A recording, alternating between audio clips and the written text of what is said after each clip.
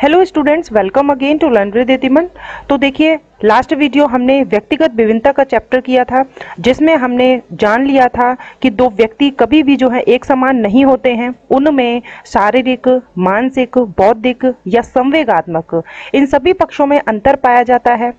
और यही अंतर व्यक्तिगत विभिन्नता के नाम से हम जानते हैं। ठीक है? जहाँ हमने कई डेफिनेशन भी देखी थी। क्रो एंड क्रो की डेफिनेशन में कि एक ही उम्र के बालकों में जो अधिगम की तत्परता है, वह समान हो ऐसा आवश्यक नहीं है। यानी सीखने की जो तत्परता है, वह भी एक बालक की दूसरे बालक से अलग होती है। ठीक है? स्किनर की परिभाषा देखी थी हमने कि विकास की जो विभिन्न अवस्थाएँ होती हैं उसमें व्यक्तिगत विभिन्नता पाई जाती है।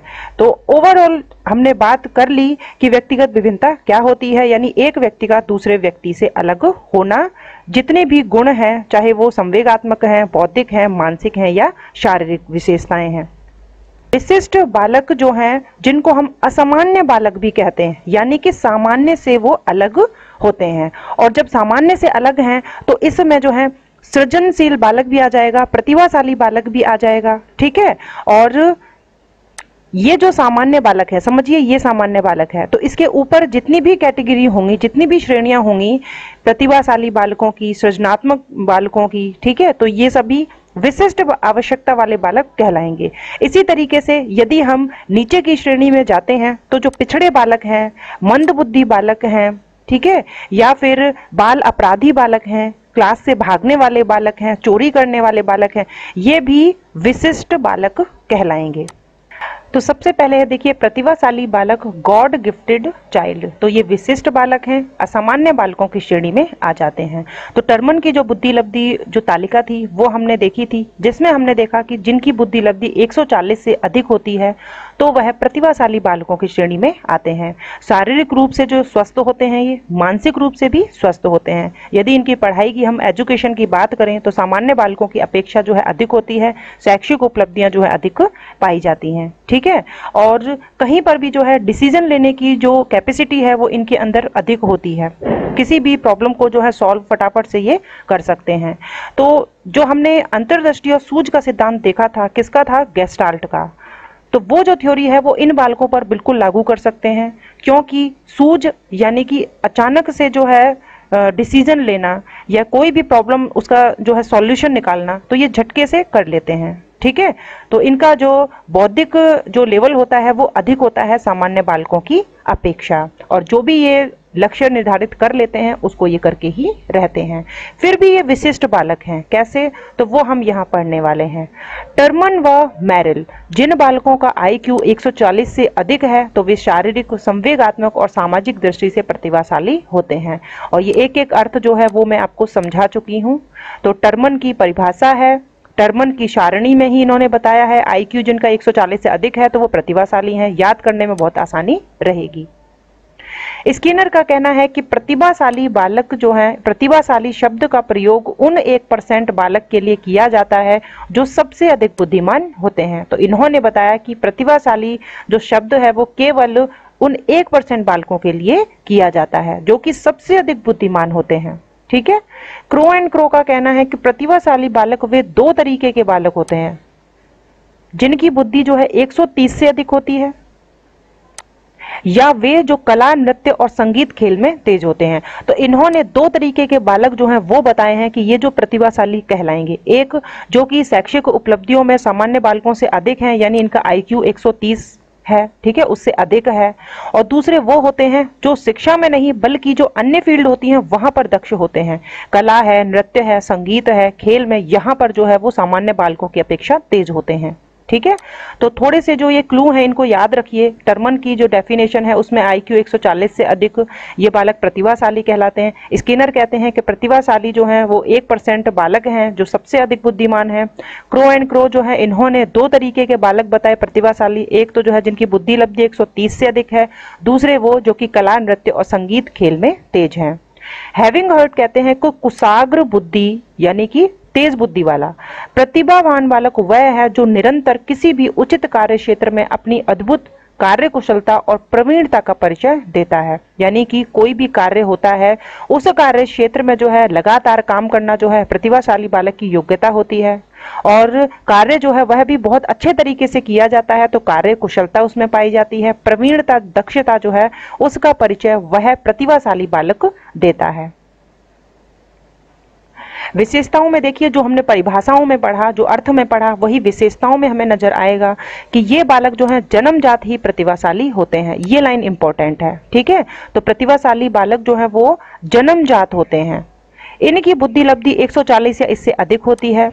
इनकी मानसिक योग्यताएँ उच्च स्तर की होती हैं सामान्य बालकों से। जैसे कि समस्या समाधान है, कोई भी समस्या है, उसका समाधान करने में आगे रहते हैं, ठीक है? सोचना, अगर कुछ भी सोचना है, फटाफट से जो है सोच लेते हैं, ठीक है? यानी चिंतन जो है, वह भी इनका सामान्य बालकों की अपेक्षा जो है, वो अधिक अच्छा होता है। जिज्ञासा, कोई भी नई चीज़ होती है, उसको जानने की इच्छा इनके अंदर होती है, अंतर्दृष्टि वाले होते हैं। अपने से अधिक आयु वाले ये दोस्त बनाते हैं। देखिए आईक्यू का जो हमने देखा था फॉर्मूला तो हमने उसमें क्या देखा था कि एम ए अपॉन सी ए ठीक है? इस तरीके से फॉर्मूला था। आपको याद आया होगा? मल्टीप्लाई हंड्रेड ठीक है? तो यहाँ पर जो है वो, आप समझिए मल्टीप्लाई हंड्रेड है।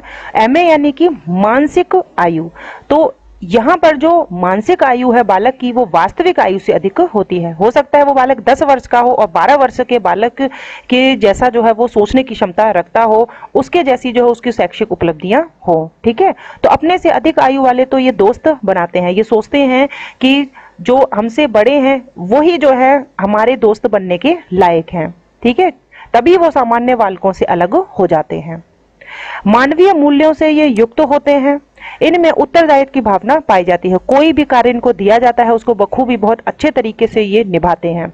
ये अध्ययन में विशेष योग्यता रखते हैं, यानी कि स्टडी में जो है ये विशेष योग्यता रखते हैं। शैक्षिक उपलब्धियाँ सामान्य बालकों से अधिक मिलेंगी। इनमें नेतृत्व का गुण पाया जाता है। ये भी हमने देखा था कि निर्णय करने की क्षमता जिसमें अधिक होगी तो उस समय नेतृत्व का गुण जो है वह भी पाया जाएगा। ठीक है? तार्किक चिंतन है या प्रश्न करने की प्रवृत्ति जो है, इनमें बहुत अधिक होती है और काफ़ी टाइम तक जो है, अकेले रहकर जो है, पढ़ाई करना तो ये जो योग्यता है, ये एक प्रतिभाशाली बालक में ही होती है। नकारात्मक विशेषताएँ क्या हैं? जब इतनी अच्छी विशेषताएँ होती हैं प्रतिभाशाली बालक में तो ऐसी कौन सी जो है नेगेटिव क्वालिटी है इनमें? देखिए, ये है बेचैन रहते हैं तथा रुचि ना होने पर लापरवाही दर्शाते हैं, क्योंकि सामान्य बालकों की अपेक्षा बहुत स्पीड से काम कर लेते हैं। तो इनको बेचैनी हो जाती है कि अब क्या करें? तो एक जगह टिककर नहीं बैठ पाते हैं, ठीक है? और यदि रुचि नहीं है उस काम में, तब वो लापरवाही दिखाते हैं। सेकंड नंबर पर है कि ये स्वार्थी और आलोचक होते हैं, यानी कि स्वार्थी होते हैं अपने से जो है मतलब होता है। और अपने विचारों के माध्यम से दूसरे के विचारों की ये आलोचना करते हैं कि नहीं, ये सही नहीं है, जो मैंने कहा है वही बिल्कुल सही है। इनकी लिखावट जो है, वो खराब होती है। डॉक्टर की लिखावट हम देखते हैं अक्सर कि हमें जो है समझ में ही नहीं आता है कि उन्होंने क्या लिखा है। तो ऐसे जो व्यक्ति होते हैं, ऐसे जो बालक होते हैं, इनकी लिखावट जो है वो खराब मिलेगी। ये नियम सिद्धांतों के खिलाफ जो है वो आवाज़ उठाते हैं, यानी ये दब्बू प्रवृत्ति के नहीं होते हैं।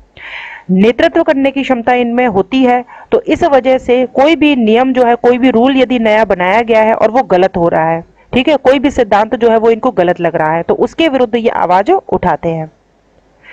उसके बाद देखिए, प्रतिभाशाली बालक की समस्याएँ। कौन कौन सी समस्याएँ होती हैं? हालाँकि समायोजन की समस्या जो है, इनमें होती है। नई परिस्थितियों में ये अपने आप को समायोजित कर लेते हैं, लेकिन कई बार क्या होता है, जैसे कि पढ़ाई यदि ये करते हैं तो ये दूसरे बालक को जो है, अपने साथ में कराने में इनको कठिनाई महसूस होती है। लंबे समय तक जो है, अकेले रहकर अध्ययन करने जो है, इनकी आदत होती है तो ये वहाँ पर जो है, समायोजन नहीं कर पाते हैं। ठीक है? सामाजिक विकास की जो है, ये समस्या होती है, प्रतिभाशाली बालक की मनोवैज्ञानिक समस्या होती है, हीनता की भावना जो है, ये भी इनकी समस्या होती है। यानी खुद जो है इतने इंटेलिजेंट होते हैं तो बाकी जो भी बालक होते हैं, इनको हीन दृष्टि से ये देखते हैं कि इसको तो ये भी नहीं आता है। कई बार हमने देखा है, कई बच्चों को कि वो जो है पढ़ाई में बहुत इंटेलिजेंट होते हैं। तो जो कम बुद्धिमान जो बालक होते हैं, उनको ये भी कह देते हैं, वो संकोच नहीं करते हैं कि तुमको तो कुछ भी नहीं आता है, तुमको तो इतना भी नहीं आता है, ये भी नहीं कर सकते हो। इतना तो मैंने इतने कम समय में कर लिया था। तो हीनता की भावना जो है, ये भी समस्या होती है। बुद्धि के दुरुपयोग की समस्या। कई बार क्या होता है कि ये बहुत अधिक बुद्धिमान होते हैं आईक्यू इनका अधिक होता है। तो गलत दिशा में यदि ये चले जाएँ तो अपनी बुद्धि का जो है दुरुपयोग कर बैठते हैं। तो ये समस्या भी प्रतिभाशाली बालक की होती है। फिर देखें, प्रतिभाशाली बालकों की शिक्षा, यानी एक अध्यापक जो है, इन बालकों को कैसे शिक्षित कर सकता है? तो सबसे पहले इनको अलग जो है, स्कूल की व्यवस्था ना करके, अलग क्लास की व्यवस्था ना करके, इनको सामान्य बालकों के साथ में ही पढ़ाना है। ठीक है? विशाल तथा विविध पाठ्यक्रम, यानी इनका जो पाठ्यक्रम है, वो विशाल कर देना चाहिए सामान्य बालकों की तुलना में, ताकि जो है इनको बोरियत महसूस ना हो और ये अपने कार्य में लगे रहें। सेकंड है, व्यक्तिगत निर्देशन और परामर्श। ऐसे बालकों को जो है व्यक्तिगत निर्देशन और परामर्श की आवश्यकता होती है तो इनको टाइम टू टाइम ये देना चाहिए। थर्ड है, विशेष शिक्षण विधि। इनका प्रयोग जो है प्रतिभाशाली बालकों के लिए हम कर सकते हैं। योजना विधि है, ठीक है प्रोजेक्ट विधि है, करके सीखना विधि है, अनुसंधान है, खोज विधि है, जहाँ पर बालक जो है नई चीज़ों को खोजेगा, उसमें उसका जो है टाइम जो है वह लगेगा ज़्यादा और वह उसमें व्यस्त रहेगा। और इसके साथ में जो है स्कूल में हम लाइब्रेरी जो है, पुस्तकालय जो है, उसकी सुविधा भी कर सकते हैं ताकि विद्यार्थी जो है, जो कि अधिक बुद्धिमान है, अधिक प्रतिभाशाली है तो वो अपना जो है, वहाँ पर अपनी योग्यता जो है दिखाए पुस्तकों का जो है सहारा लेकर अपने ज्ञान को बढ़ाए। सामाजिक व नैतिक मूल्यों की शिक्षा जो है वह देनी चाहिए। एक वर्ष में दो कक्षाएँ उत्तीर्ण करने की जो है वो छूट देनी चाहिए। जैसे कि यदि बहुत ज़्यादा इंटेलिजेंट है और वह सेकेंड क्लास में पढ़ रहा है तो उसको जो है प्रमोट करके फोर्थ क्लास में जो है एडमिशन दिला सकते हैं, ताकि उसकी शैक्षिक जो उपलब्धि है या उसकी जो शैक्षिक लब्धि है, वो सामान्य बालकों के बराबर आ जाए, ठीक है? तो यहाँ पर जो है उसे भी कोई प्रॉब्लम नहीं होगी। सिक्स नंबर पर है, छोटे समूह में शिक्षा देनी चाहिए। फिर है, प्रेम, सहयोगी और सकारात्मक व्यवहार जो है वो एक शिक्षक को अपनाना चाहिए प्रतिभाशाली बालकों के लिए। तो ये प्रतिभाशाली बालकों की विशेषताएँ थी। प्रतिभाशाली बालकों को हम कैसे शिक्षित कर सकते हैं, ये हमने देखा। गिलफोर्ड का कहना है कि सृजनात्मकता का संबंध किससे है? उत्पादकता से है। सृजनात्मकता का अर्थ किससे लगाया इन्होंने? उत्पादकता से लगाया, यानी कुछ ना कुछ प्रोडक्ट जो है वो निकल कर आना। तो सृजन किसी चीज़ का निर्माण करने से होता है। तो ऐसे बालक जो हमेशा कुछ ना कुछ नया करने की सोचते हैं, उनके विचार जो हैं, वो हमेशा इस तरीके के होते हैं कि भविष्य में क्या नया कर सकते हैं? ये चीज़ें सोचकर और नई नई वस्तुओं का निर्माण कर सकें। तो ऐसे जो बालक होते हैं, दूरदर्शी जो बालक होते हैं, उनको हम सृजनात्मक बालक कहते हैं, जो हमेशा कुछ ना कुछ नया विचार हो सकता है, कुछ वस्तुएँ हो सकती हैं, जिनका निर्माण करते दिखाई देंगे। तो स्टर्न का कहना है कि जब किसी कार्य का परिणाम नवीन हो और उपयोगी हो नया तो हो और उसके साथ साथ कैसा हो? उपयोगी हो, उपयोग करने वाला हो। तो ऐसे जो बालक हैं, वो सृजनात्मक बालक की श्रेणी में आ जाते हैं, जिनके काम करने का परिणाम हमेशा नया निकलेगा, जो कि दूसरों से हटके होगा और वो उपयोगी होगा। सृजनात्मक बालक की विशेषताएँ क्या होती हैं? तो हमने अच्छे से ये क्लियर कर लिया था कि उनमें धारा प्रवाहिता, मौलिकता, नवीनता, ये गुण पाए जाते हैं। बुद्धि लब्धि जो है इनकी अधिक होती है। जिज्ञासा की मात्रा जो है, जानने की इच्छा जो है, इनको हमेशा रहती है। प्रतिभाशाली बालक हों, चाहे सृजनात्मक बालक हों, नया जानने की इच्छा जो है, इनके मन में हमेशा रहती है। अपने विचारों को ये दबाकर नहीं रख पाते हैं, क्योंकि इनके जो विचार होते हैं, वही जो है सामने निकल कर आते हैं किसी न किसी रूप में। क्योंकि हर चीज़ का सृजन करना, निर्माण करना जो है, इनकी आदत होती है। साहसी स्वभाव के होते हैं, किसी भी चीज़ से डरते नहीं हैं, क्योंकि जिज्ञासु प्रवृत्ति होती है तो कठिन से कठिन कार्य को करने के बारे में ये सोचते हैं। लगनशील होते हैं और अध्ययन में कैसे होते हैं, सामान्य होते हैं। ये लाइन जो है, वो आप ध्यान में रखिएगा। प्रतिभाशाली बालक जो है, वो अध्ययन में कैसे होते हैं, बहुत अधिक उच्च होते हैं। लेकिन सृजनात्मक बालक ज़रूरी नहीं है कि वो स्टडी में बहुत अच्छा हो। ठीक है? कल्पनाशीलता होती है, कल्पना में खोए रहते हैं दिवा स्वप्न वाले होते हैं, यानी दिन में भी सपने देखने वाले होते हैं। और जो भी सपने देखते हैं, उनको ये पूरा करने के बारे में सोचते हैं। सौंदर्यात्मक मूल्यों की अभिव्यक्ति करते हैं ये। जब भी इनकी कोई चीज़ बाहर निकल कर आती है, तैयार होकर आती है तो वो बहुत ही खूबसूरत होती है, अच्छी होती है, सुंदर होती है। लोचशीलता यानी कि परिवर्तन। तो समय के साथ जो है बदलाव लाना, ये इनकी विशेषता होती है। जैसी परिस्थिति होती है, उसके अकॉर्डिंग जो है, ये अपने आप को ढाल लेते हैं। सृजनात्मकता के विकास में शिक्षक की क्या भूमिका रहती है? यदि एक बालक जो है सृजनशील है तो उनके विकास में एक शिक्षक जो है, उसका क्या कार्य रहेगा? स्वतंत्र वातावरण जो है, उपलब्ध कराए शिक्षक। आत्मा अनुशासन और आत्म मूल्यांकन की योग्यता का विकास करना। ठीक है? उनका जो सेल्फ कॉन्फिडेंस है, उसको बढ़ावा हमेशा देना। अच्छे उदाहरण जो है वो प्रस्तुत करना। उनके सामने अच्छे अच्छे एग्ज़ाम्पल जो हैं, वो प्रस्तुत करना, जिनको देख कर जो है और भी उनकी सृजनात्मकता का विकास हो सके। अभिनव कार्यक्रमों का आयोजन करना। तो एक शिक्षक की जो है, ये कार्य रहते हैं कि वो सृजनात्मकता का विकास करे। एक बालक में यदि वो सृजनशील बालक है तो उसका क्या करे? विकास करे, उसे और बढ़ावा दे और तो उसके लिए स्वतंत्र वातावरण उपलब्ध करवाए, आत्म अनुशासन और आत्म मूल्यांकन की योग्यता का विकास करे अच्छे अच्छे डेमो जो है उनके सामने प्रस्तुत करे। नेक्स्ट देखिए मंद बुद्धि बालक। तो वे बालक जिनकी बुद्धि लब्धि सत्तर से कम होती है, जिनकी बुद्धि लब्धि सत्तर से कम होती है और जो बहुत दुबले पतले, कमज़ोर और छोटे हाइट के होते हैं ठीक है? अक्सर आपने देखा होगा। तो ऐसे बालक जो है, वो मंद बुद्धि बालक कहलाते हैं। और इनका जो भाषा जो होती है इनकी, वो इसका जो है, पूरी तरीके से विकास भी नहीं हो पाता है। अच्छे तरीके से ये बोल भी नहीं पाते हैं। सही गलत जो है, इनको नहीं पता होता है कि क्या सही है और क्या गलत है। तो पहले जो है मंद बुद्धि बालक और पिछड़े बालक जो है इसमें किसी प्रकार का अंतर नहीं होता था। लेकिन 1913 ईस्वी में इंग्लैंड में मेंटल डेफिशिएंसी एक्ट जब बना था तो उस समय इनको अलग कर दिया गया। मंद बुद्धि और पिछड़े बालकों जो है उनमें अंतर किया गया। ठीक है, तब से जो है हम इनको अलग अलग पढ़ते हैं। तो मंद बुद्धि बालक जो है वो कौन से होते हैं? ऐसे बालक जिनकी बुद्धि लब्धि आईक्यू जो है सत्तर से कम होता है। ठीक है, और जो अपने, जो भी इनके जो संवेग होते हैं इमोशन जो होते हैं, ये अस्थिर होते हैं, यानी कभी भी रोने लग जाते हैं, कोई भी जगह पर, ठीक है, कभी भी हंसने लग जाते हैं।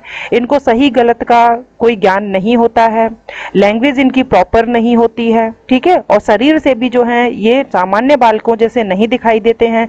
बहुत दुबले पतले, कमज़ोर और हाइट जो है, इनकी अक्सर छोटी मिलेगी। तो ये जो लाइन डेफिनेशन है, वो किसकी है? क्रो एंड क्रो की है कि वे बालक जिनकी बुद्धि लब्धि सत्तर से कम होती है, ऐसे बालक मंद बुद्धि बालक कहलाते हैं। उन्नीस निन्यानवे में जीन स्टार्ट ने सबसे पहले मंद बुद्धि बालकों का अध्ययन किया। तो आप ये लाइन जो है, वो ध्यान में रखें। विश्व में सबसे पहले मंद बुद्धि केंद्र जो है, अठारह ईस्वी में सैगुई ने पेरिस में खोला था। कब खोला था? अठारह में। कहा? पेरिस में खोला गया था। विशेषताएँ देखिए शारीरिक न्यूनता यानी कि विकलांग होते हैं शरीर से जो है ये कमज़ोर होते हैं दुबले पतले होते हैं सामाजिक न्यूनता समाज में भी जो है ये अपने आप को स्थिर नहीं रख पाते हैं ठीक है?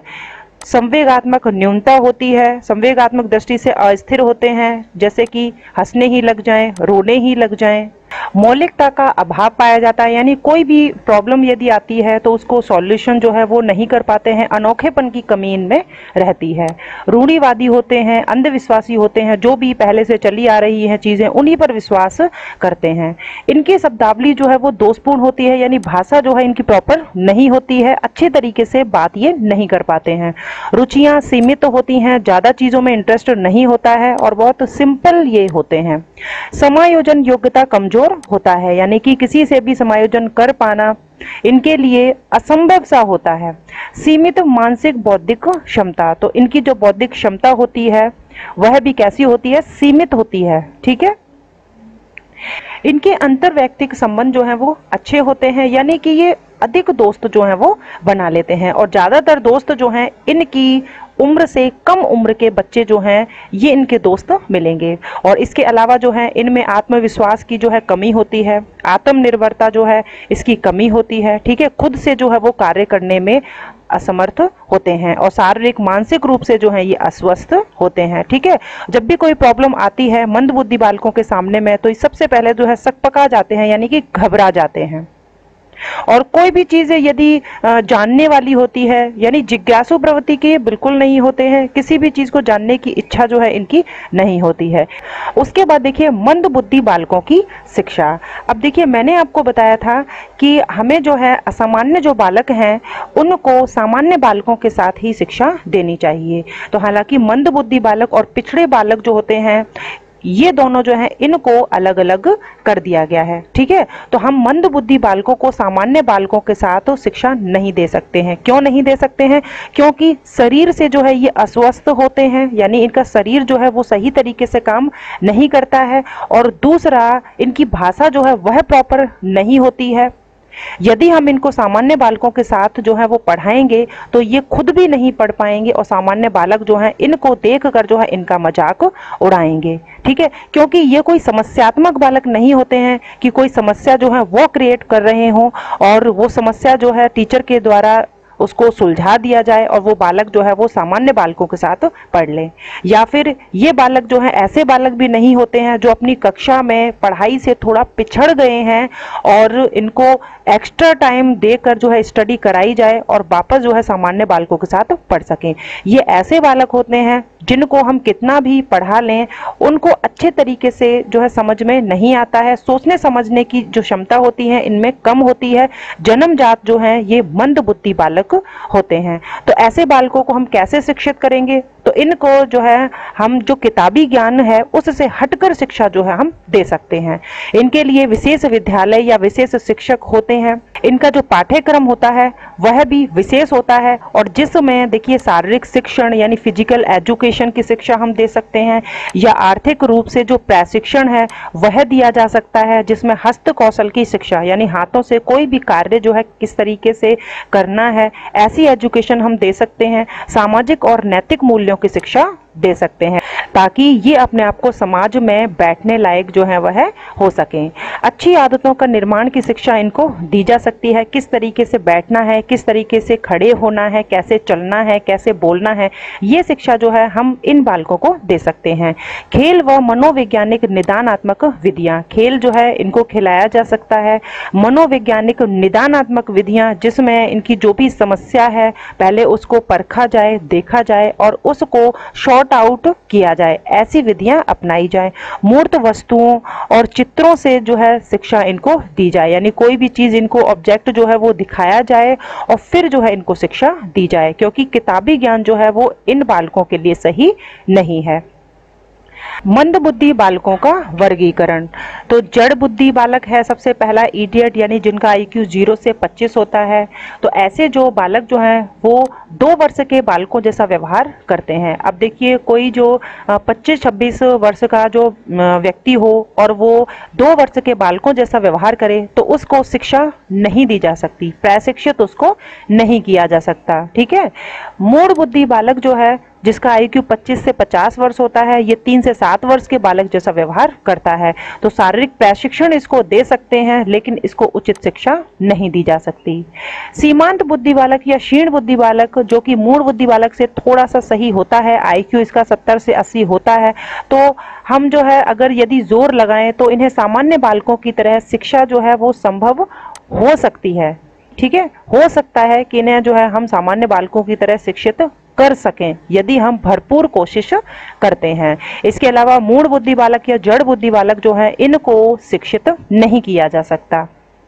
मानसिक मंदता पर महत्वपूर्ण प्रथम अध्ययन जो है, विक्टर बच्चे पर जीन इटार ने फ्रांस में किया था। तो ये थोड़ी इंपॉर्टेंट लाइन है, हो सकता है आपके एग्ज़ाम में आ जाए कि मानसिक मंदता जो है, उस पर सबसे पहला जो अध्ययन है, किसने किया? जीन इटार ने किया, फ्रांस में किया, विक्टर बच्चे पर किया। ब्रिटिश मेंटल डेफिशिएंसी एक्ट क्या कहती है कि जो मानसिक मंदता होती है, मंद बुद्धि बालक है, वो जन्मजात नहीं होते हैं, बल्कि 18 वर्ष से पहले या तो उनको कोई ऐसी बीमारी हो गई है, इस वजह से वो मंद बुद्धि हो गए हैं, या कोई चोट लग गई है, या उनके मस्तिष्क का विकास जो है, उस चोट लगने से जो है, बीमारी होने से जो है, रुक गया है। इस वजह से जो है, मानसिक मंदता है, ठीक है? एस एस पेंड्रोज की बुक है, बायोलॉजी ऑफ़ मेंटल डिफेक्ट। किसकी बुक है? एस एस पेंड्रोज की। तो इन्होंने जो है, जो मंद बुद्धि बालक हैं, इनकी चार कैटेगरी बताई। कौन कौन सी? तो नाम जो है, वो आता है। देखिए मंद बुद्धि बालक जो है, उसका ही दूसरा नाम है मंगोलिज्म। ठीक है?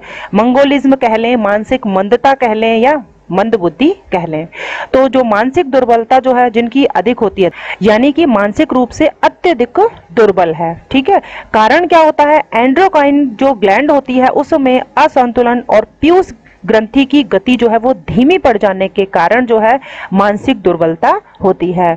और यदि हम क्रोमोजोम्स की बात करें तो यहाँ पर 46 के स्थान पर जो है, सैतालीस क्रोमोजोम होते हैं, ठीक है? और उसके बाद दूसरे तरीके के जो बालक हैं मंद बुद्धि बालक, वो एक है बोनापन, यानी बहुत ही कम हाइट होती है इनकी, लगभग तीन फीट इनकी लंबाई होती है। थायराइड ग्लैंड की अनियमितता के कारण जो है ये बोने हो जाते हैं। तीसरा इन्होंने जो प्रकार बताया एस एस पेंड्रोज ने अपनी बुक में माइक्रोसिफेली माइक्रोसफेली यानी कि माइक्रो यानी कि सूक्ष्म।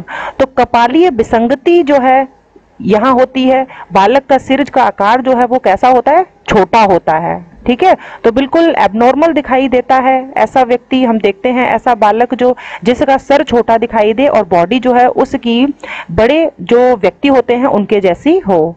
हाइड्रोसेफेली जो होते हैं, जिनके मस्तिष्क में सैरे सैरेब्रोस्पाइल द्रव से अत्यधिक जमाव से ये हाइड्रोस्पेली जो है, वह हो जाते हैं। इनका सिर का आकार जो है, वो बड़ा होता है।